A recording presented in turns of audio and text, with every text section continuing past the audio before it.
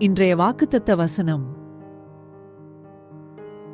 சங்கீதம் பதினோராம் அதிகாரம் ஐந்தாம் வசனம். கர்த்தர் நீதிமானைச் சோதித்தருகிறார் துன்மார்க்கனையும் கொடுமையில் பிரியமுள்ளவனையும் அவருடைய உள்ளம் வெறுக்கிறது. குறிப்பு கர்த்தர் நல்லோரைத் தேடுகிறார். கர்த்தர் தீயவரையும் கொடியோரையும் வெறுக்கிறார். எனக்காக யாவும் செய்து முடிக்கும் என் தேவன் நீரிருக்க பயமே இல்லை. எல்லாவற்றையும் எல்லாவற்றாலும் நிரப்பும் நீரிருக்க பயமே இல்லை.